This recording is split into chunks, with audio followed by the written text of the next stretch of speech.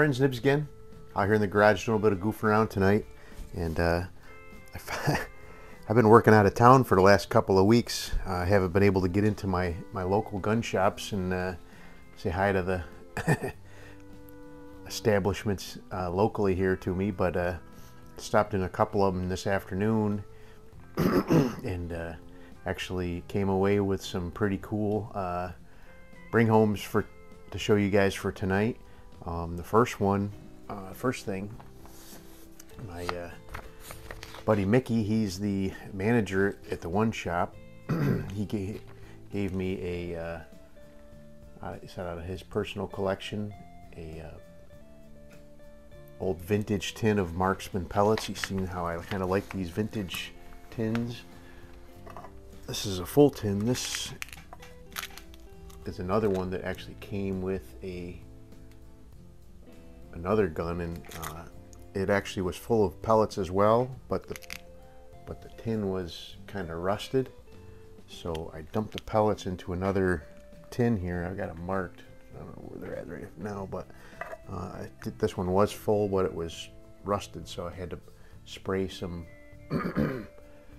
spray some uh, oil on the pellets to clean them up but uh, that's pretty cool. And also he found this article and knows I like the Remington 500s and some uh, tips and tricks on how to uh, tune those up a little bit better.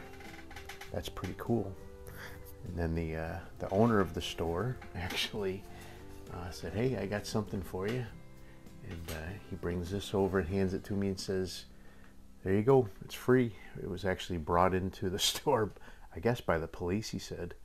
Um, but what we have here is something actually pretty cool.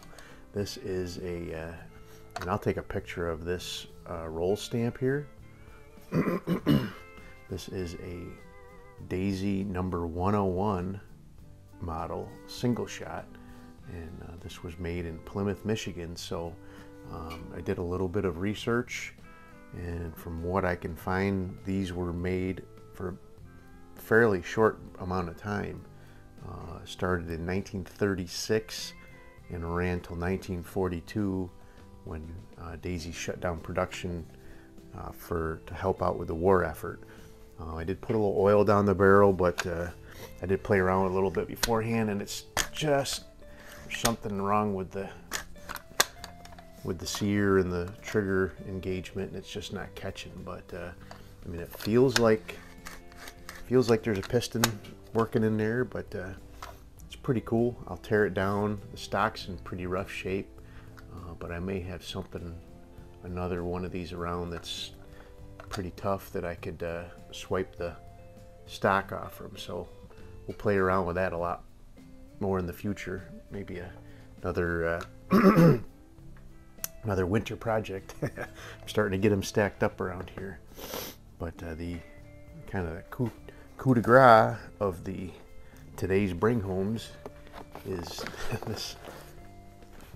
Stopped in another store just down the road and they had this and uh, it is still factory sealed factory sealed.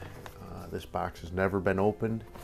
Um, I believe that what's inside is what's pictured on the front here and if that's the case then this particular item was made between 1988 and uh, 2001. In 2001, the Model 66 started using the uh, little pellet clip that uh, you see on a lot of these newer Crosmans now. So I'm going to go ahead and I'm going to break the seal. You guys are probably cringing, oh, don't do it.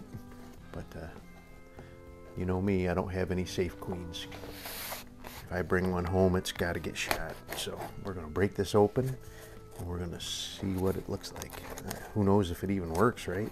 It's at least 21 years old, if not... Uh, let's see if I can get this open without tearing the box, though.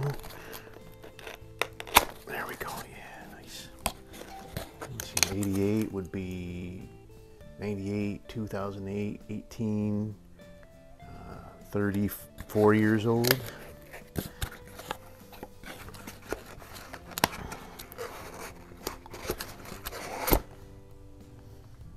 So there is original packing. Comes with a little Bushnell scope. Nothing but the best.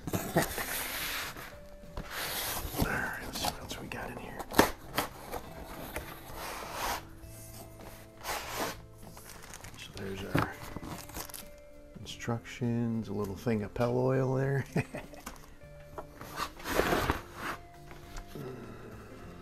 little packing material. We'll save all that stuff.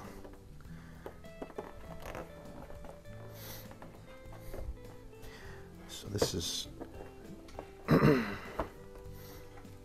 even has a wire tie going around it to tell if you've unpacked it and used it for a at all. So let's see here. I got a pair of snips up here. We can cut this wire tie.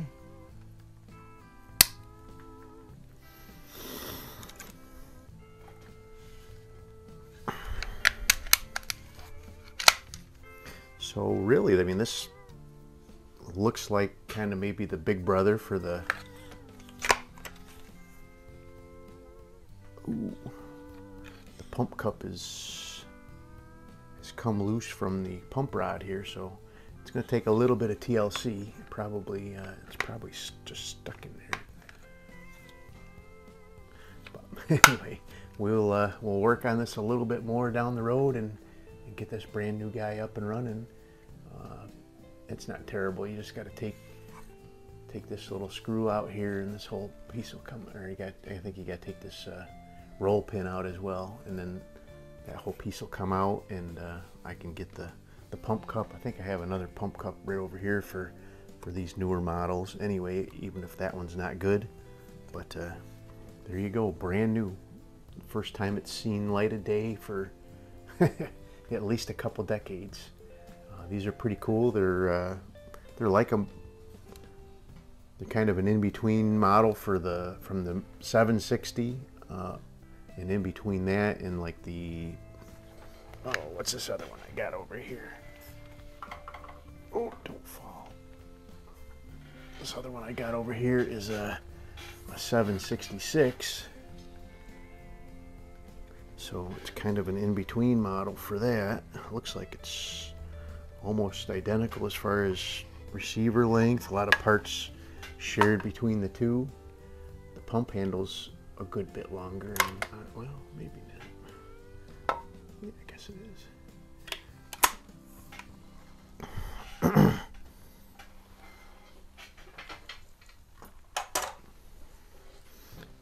but I just, I, once I saw that it was still factory sealed, I, I knew I just had to have it. But the good thing is the, uh, so I had done a little bit of uh, work for that that store actually a couple of months ago and uh, they still owed me a little bit of money for that work that I did. And uh, I ended up uh, bargaining with the uh, owner and he gave that to me for that little bit of money left that he had still owed to me. So technically uh, and all this other stuff was given to me. So technically today's all of today's bring homes are uh, zero out of pocket cost to me. So anyway there you go uh, hope you liked the video. If you did, like, share, and subscribe. Make sure you hit that notification bell. You'll be notified when I do post up new videos. Stay tuned for this to be working. See you next time. Alrighty, friends. Real quick update for you. I'll put this at the end of the uh, the bring home video because I don't feel like doing a separate video on it just for to show you guys. But uh, the uh, the 66 um, real quick fix, uh, just took out that screw and that roll pin and uh, actually the, just, I don't know, tapping on it caused the, uh, the pump cup to come loose along with it and it actually came right out with it. Got a little oil on it and this thing is pumping up just nice.